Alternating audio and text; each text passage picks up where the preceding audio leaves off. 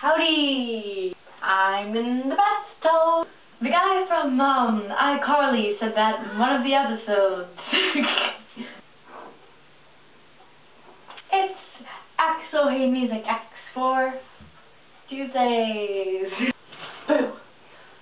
Welcome to today's talk show. We will be talking about the most crazy experiences or stupid experiences you've ever had. So this uh I was um at my best friend's house and took a pair of shorts that looked like boxers and sweatpants and put them both on and then pulled the sweatpants down so you could see like the boxers. I then put on a hat sideways and um a big sweatshirt and walked around the neighborhood singing rap songs like those guys who put on their pants, yeah. Go, this batch, I was taking a bath all around Saturday night. Then there was um this one time I fell headfirst into a recycling bin outside. I wonder if we turn this on, water will come out.